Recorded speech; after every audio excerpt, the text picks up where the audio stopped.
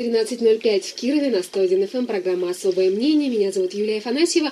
Напротив меня сидит наш эксперт, секретарь Кировского регионального отделения политической партии «Гражданская платформа», экономист Михаил Шевелев. Михаил, добрый день.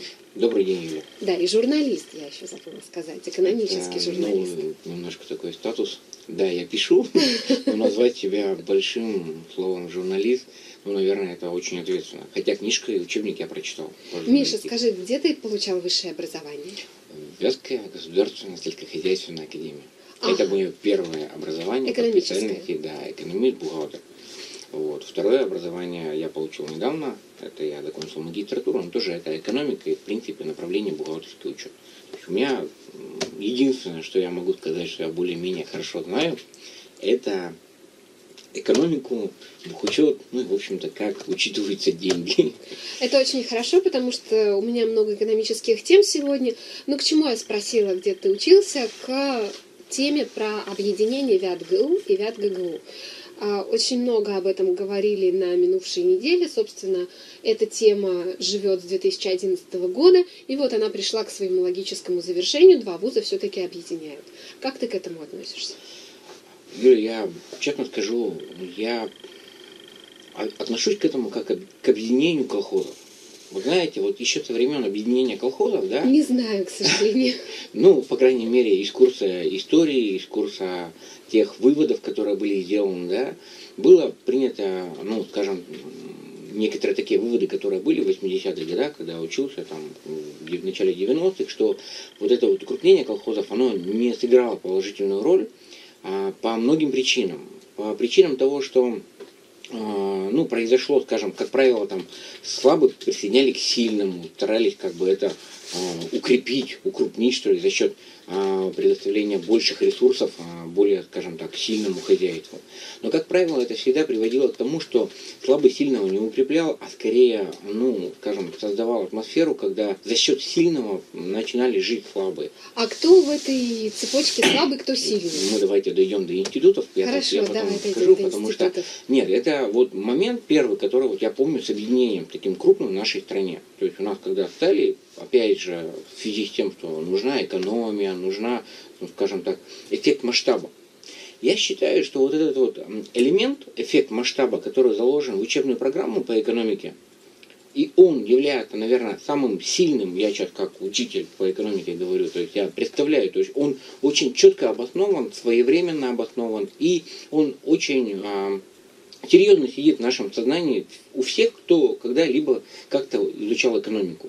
И вот этот эффект масштаба, он а, играет с нами достаточно серьезную злую шутку на сегодняшний день. Потому что мы практически уверены, там, впитали там, э, сознаниями, там, да, что увеличивая, мы автоматически экономим.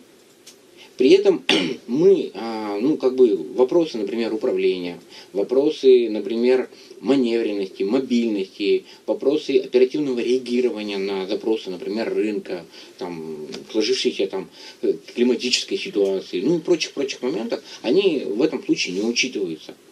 И вот здесь, вот, я считаю, что объединение, у нас же параллельно идет объединение, там, например, а, сельских поселений, укрупнение, да, вот там много сельских поселений укрупняют в одно. Это к чему приводит? К тому, что а, сужается место принятия решений. Территория становится больше, ну и здесь тоже получится так, что количество студентов больше, количество, а, скажем так, э, факультетов, а, кафедр, оно увеличится. И вот эта вот пирамида, она становится более громоздкой. И с точки зрения управления я однозначно считаю, что университеты не выигрывают.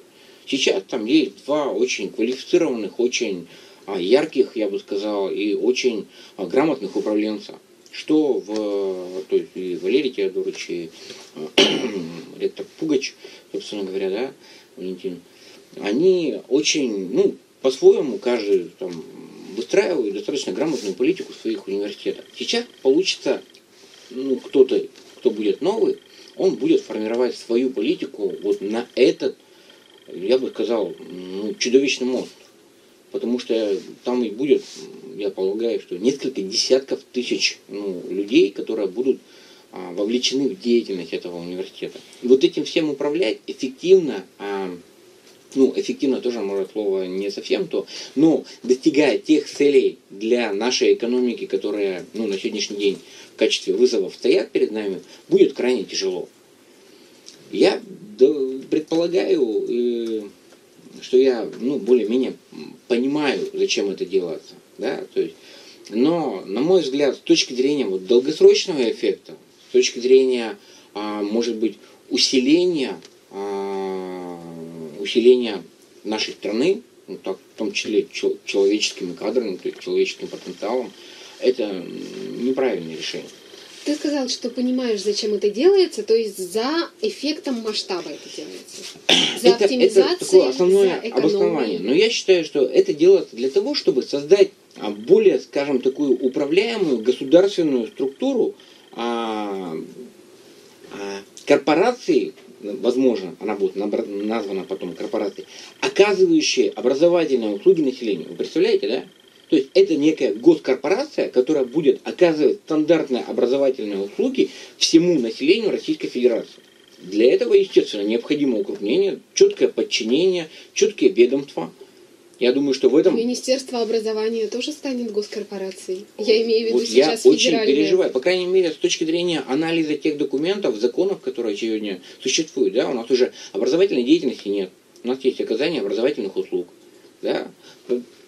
Предоставление образовательных услуг предполагает, естественно, введение стандартов услуг, предполагает введение ну, определенной стандартизации платы за то, какие услуги получают. Да а, предполагает получение неких э, стандартных компетенций, которым должен обладать человек. Но с точки зрения образования, формирования образов, навыков, там, деятельности научной, это немножко ну, другое, скажем так.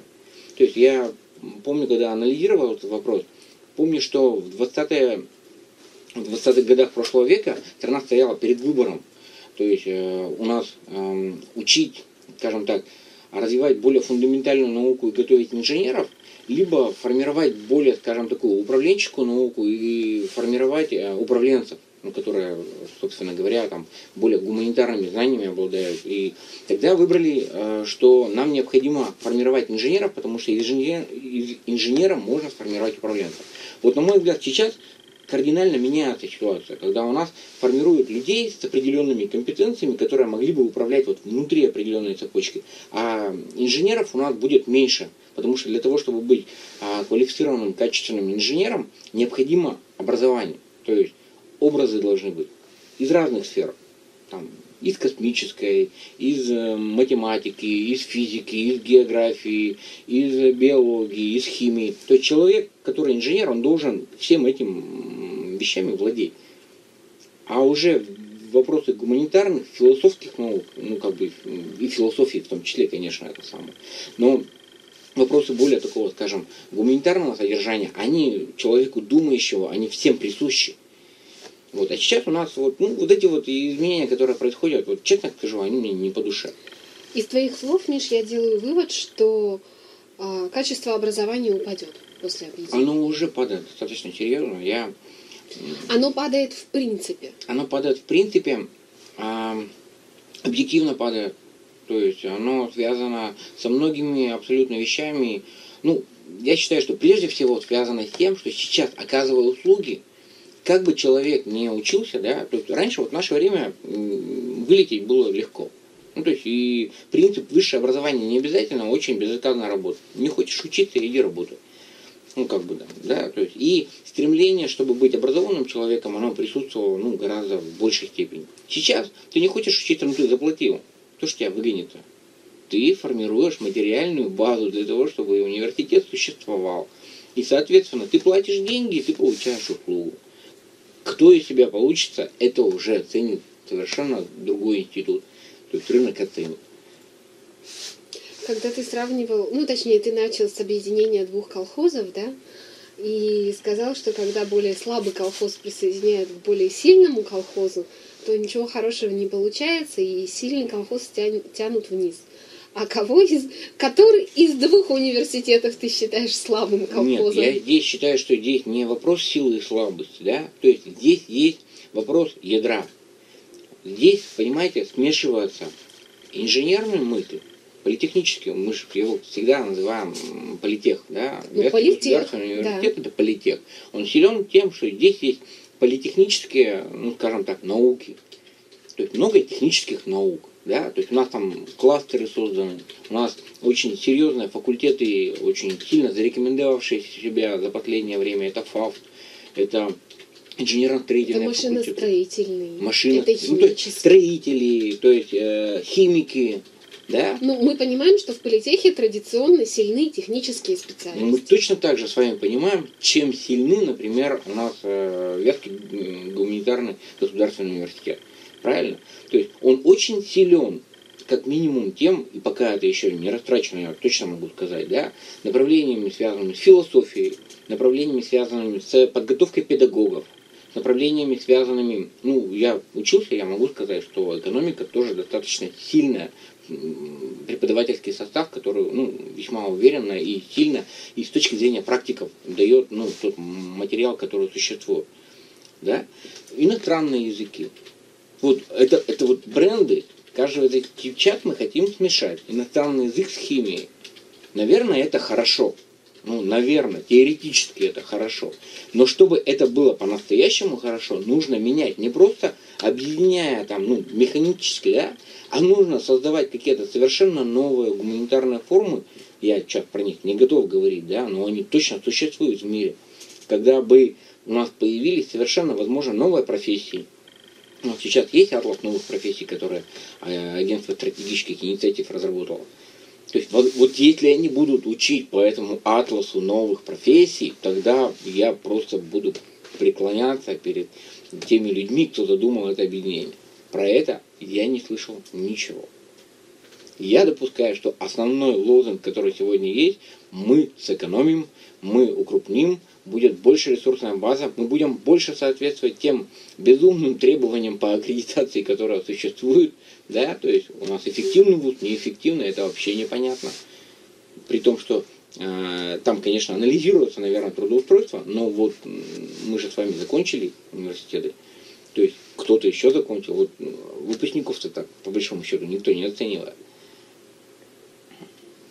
М, Оценивают по площадям, оценивают по э, ресурсной базе, как правило, оценивают по количеству там, докторов наук. ну, На самом деле для меня эти критерии оценки загадка, я ни разу их не видела.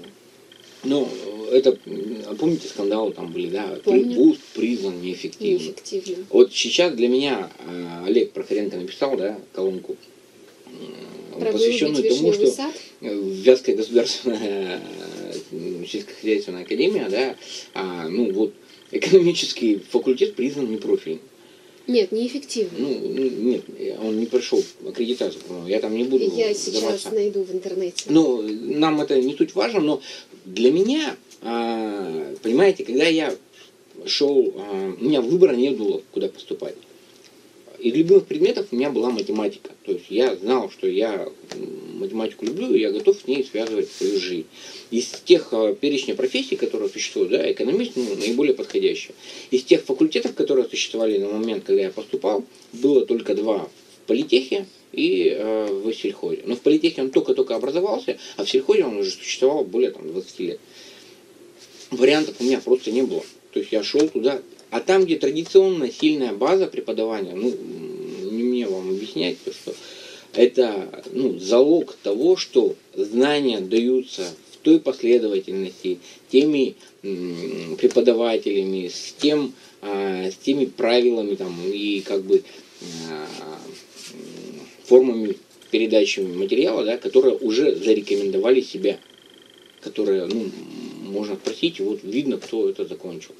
И я честно скажу, то, что у меня очень классное образование. То есть даже по современным меркам, спустя там 25 лет, я могу сказать, что я закончил одну из самых сильных э, как бы, факультетов, это экономический факультет.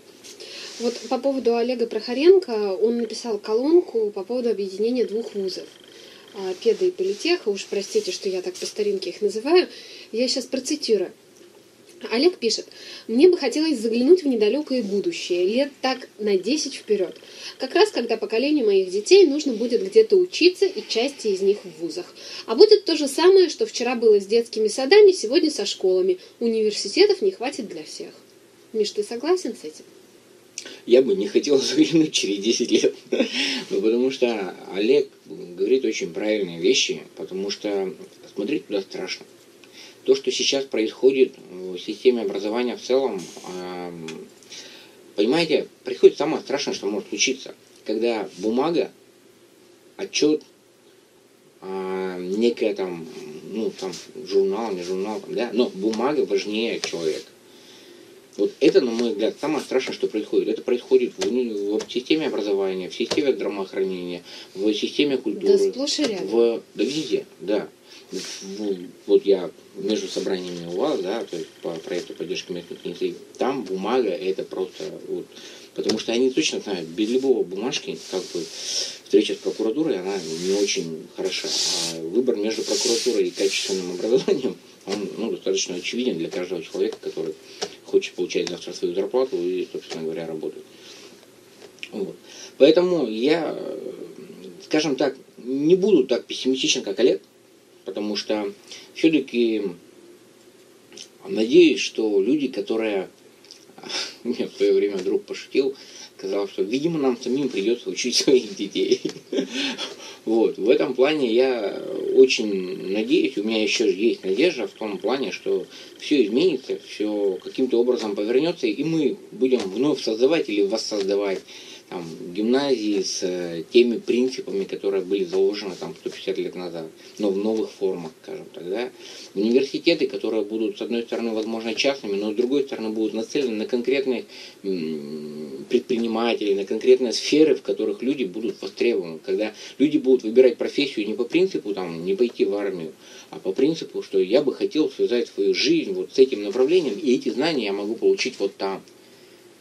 Я разговаривал недавно с одним иностранцем, он очень интересную вещь рассказал, когда есть в Англии а, э, институт, ну, такой достаточно некоммерческое абсолютно учреждение, не государственное, вот, и в нем очередь на полтора года вперед, чтобы записаться на лекции, на семинары. И люди вынуждены быть, кроме того, что они записаны, они еще вынуждены быть членами вот этого вот как бы объединения, этого института, этой там, ну, специальной некоммерческой организации, чтобы иметь возможность вот попасть к этим учителям, прослушать вот этот курс, а, получить вот эти вот знания.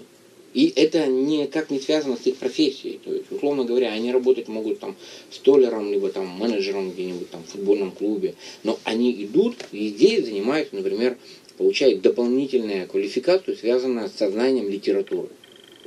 Представляете, вот, вот как бы образ тяги к знаниям, которые востребованы, и которые они потом используют для себя, для своего роста, для своего развития, для своего будущего. Вот я почему-то очень, глядя на современную молодежь, я понимаю, что вот эти вопросы, они очень много задают таких вопросов, вот как развиваться, куда развиваться, куда идти. У них ум очень пытливый.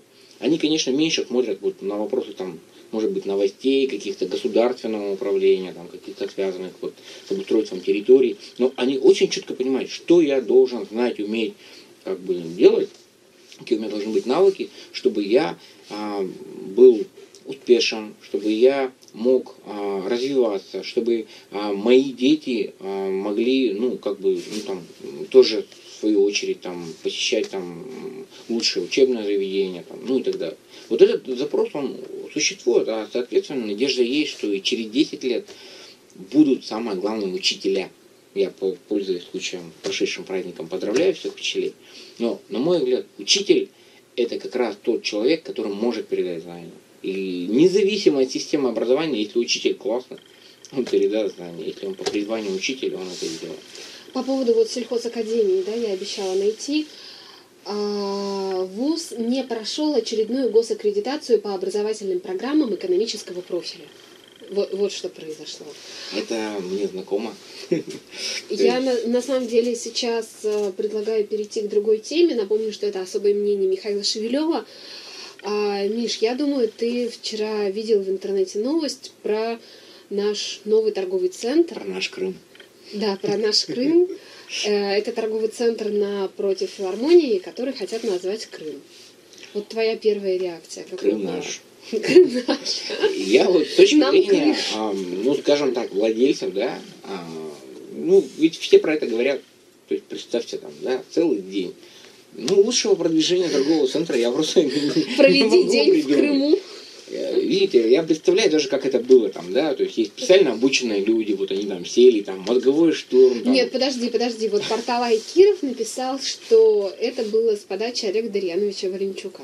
депутата Ну, я вот не присутствовал при этом, поэтому Я тоже не имен как присутствовала, бы поэтому я сослалась могу. на портал Айкиров. Просто владельцы, э, на мой взгляд, сегодня в разгар кризиса, в разгар падения торговли, в разгар, ну, собственно говоря, там, а, как у меня а, любят э, ребята шутить, сейчас самая модная Ученики федеральная твои, сеть, да? знаете какая? Какая? Аренда. То есть вот самая модная федеральная сеть. Она присутствовала в каждом городе, в каждом поселке, в каждом населенном пункте. Вот.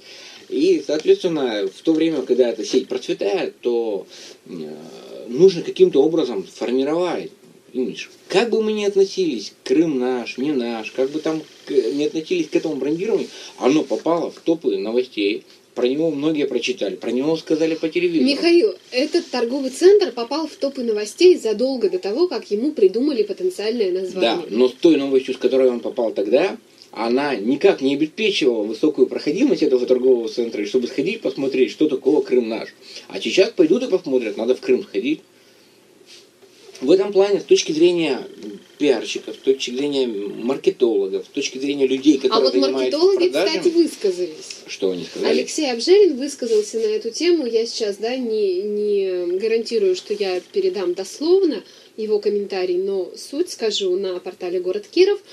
Он дал такой комментарий, что все-таки название торгового центра должно соответствовать а, той продукции, которую он продает. То есть, если это товары крымские, да, которые мы везем из Крыма в Киров, тогда может быть. Но вообще, по большому счету, причем тут Крым, это первое. А второе, он сказал, что у торгового центра могут быть э, проблемы с официальной регистрацией этого названия, потому что все-таки, как-никак, Крым это полуостров. Да, там Субъект федерации, скорее. оказывается, так как он есть, э, субъект федерации, нет, он не то что полуостров, он субъект федерации. Ну просто Крым это, это название полуострова, это название субъекта Ну, федерации, конечно, да, конечно. Совершенно есть верно. море, там Балтика, да, пиво Балтика ведь есть, то есть зарегистрирована товарная марка, есть куча разных Балтик других, то есть, нет, я не уверен, то есть это пусть юристы работают, разбираются. Мы сейчас с вами разговариваем про морально-этические Да, подходы. про моральную этическую сторону вопроса. Вот ты знаешь, я прочитала вчера в интернете очень много комментариев, большинство из них на самом деле достаточно едкие. Вот пишут, такой Крым нам не нужен, давайте отдадим его Украине. Ну, а кто владельцы, да? Я не знаю, просто кто владельцы, то есть, ну, а, на самом деле, а, Вот мы сейчас с тобой название, вот смеемся. понимаете, вот я сейчас, погодите, Юля. то есть а, при запуске, это, это бизнес-проект, то есть мы не будем сейчас там обсуждать там градостроительство, о том, что он построен там Да, в районе Где он сквера, там, построен, да. то есть э, то, что он там не вписывается в центра. ландшафт, в историческую там Мгм. инфраструктуру, мы это сейчас обсуждать не будем. Мы с вами обсуждаем ход профессиональных специалистов, которые перед открытием должны создать некие, а, ну, вы что, правильно? Информационное поле. По- да, повод, поле о том, чтобы как можно больше позитивное. желающих, э, потенциальных посетителей этого центра узнали о нем, заговорили о нем, ну и по самому оптимальном варианте, чтобы туда пришли. Просто, понимаете, пришли, посмотрели, увидели. Вот, на мой взгляд, эта задача была достигнута. С точки зрения дальнейших вопросов, с точки зрения морально-этических моментов, с точки зрения, возможно, арендаторов, которые ведь внутренне могли быть не, со- не согласны с этим, да, но тут уже вопросы связаны с тем, если пойдут люди, будут там большой поток э, потребителей, да, будет хорошая бойкая торговля, все арендаторы будут согласны, как ни назови, хоть Титаник назови. Поэтому, э, на мой взгляд, это достаточно профессиональная работа. То есть я вот как человек, я не знаю, может быть, нет у меня еще этой галочки визитки маркетолог, да. вот. Но я считаю, что он достаточно такой нормальный ход. Михаил Шевелев сейчас оценил работу пиарщиков э, нового торгового центра в районе филармонии. На этом я предлагаю прерваться, потому что нам надо уйти на рекламу. А я напомню, что это особое мнение, мы очень скоро вернемся. Мы возвращаемся в эфир. Я напомню, это особое мнение Михаила Шевелева, секретаря Кировского регионального отделения политической партии «Гражданская платформа», экономиста, аудитора, нашего постоянного эксперта. Миш, я хотела бы немного вернуться к истории с торговыми центрами, но посмотреть на нее немножко с другой стороны. А, дело в том, что мы все читаем новости, и в частности такие сводки с полей о том, что 40% э, площадей в действующих торговых центрах сейчас пустуют. Также мы читаем, что закрываются предприятия. Вот недавно была приостановлена работа мясоперерабатывающего комбината Киби, проблемы у э, другого мясоперерабатывающего предприятия. Но, несмотря на это, торговые центры новые строятся, открываются – при том, что действующие пустуют. Где логика? Ну, на мой взгляд, не нужно здесь искать логику, потому что это окончание строя. То есть, э, по большому счету, это заканчивают, ну или там продолжают строительство тех центров, которые были заложены 2-3 года назад. Нет, ну подожди, вот недавно объявили о строительстве нового большого торгового центра на Щерса рядом с э, временем простора. То есть там ну, торговый ну, центр в формате огромного молла. Вот я, честно говоря, э, допускаю, что вот просто по инфраструктуре, да, то, чего нам не хватает городу. То есть вот вариант просторов, да, вот таких магазинов нам не хватает. То есть когда большой... Да, а Джемол, огромный торговый центр, который пустует наполовину. Да, но там есть только карусель, так, это тот магазин, в котором можно ходить каждый день. То есть остальные магазины, они либо развлекательные, да, то есть на...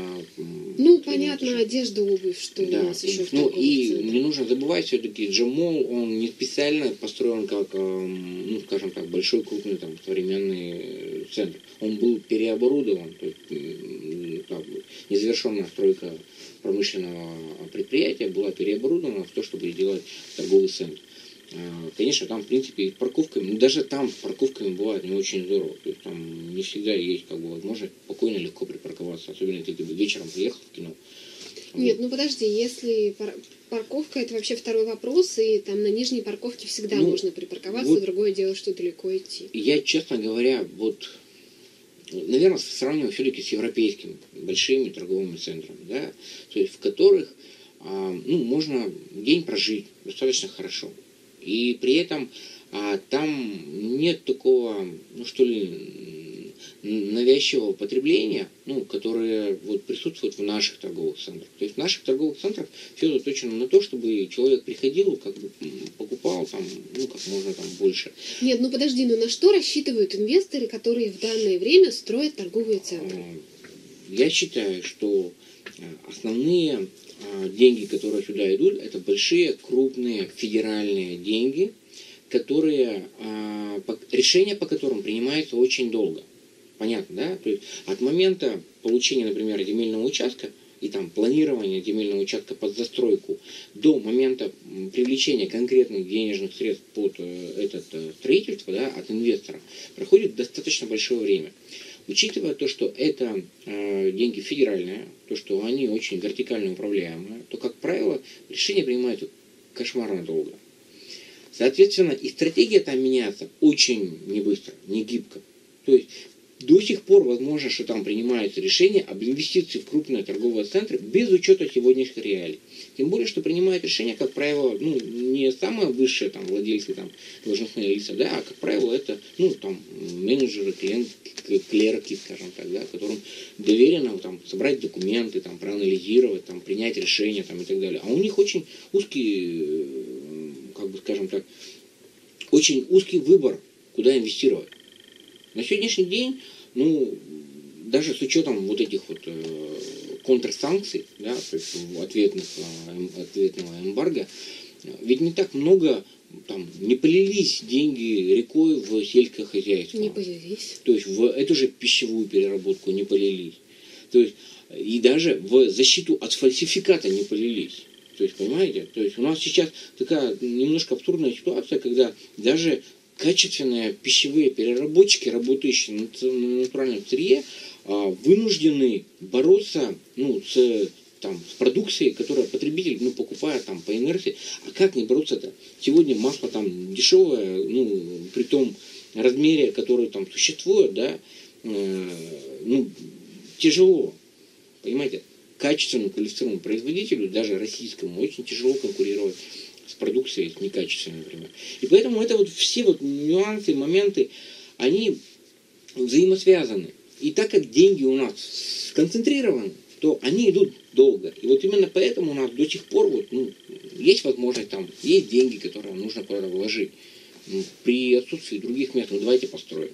Ну, когда-нибудь будет рост экономики. Вот когда рост экономики будет расти, автоматически недвижимость будет расти. Мы таким образом хотя бы их сохраним, недвижимости в земле там, и так далее. Понимаете? То есть вот она, на мой взгляд, логика очень простая.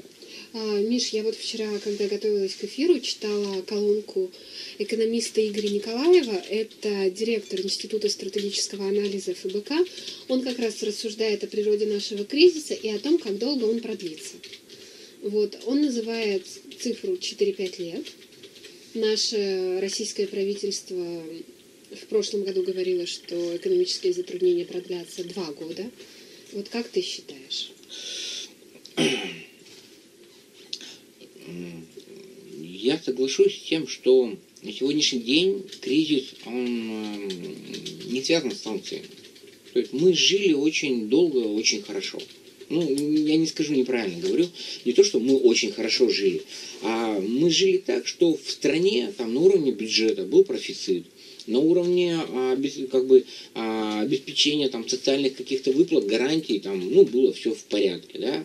То есть мы жили, когда излишек денег, он так или иначе в экономике оставался, там, через всемирные стройки, типа там Точенкой, через какие-то другие там программы, помните, там национальные проекты были, они ведь так или иначе деньги вливались в экономику, там строилось, создавались предприятия.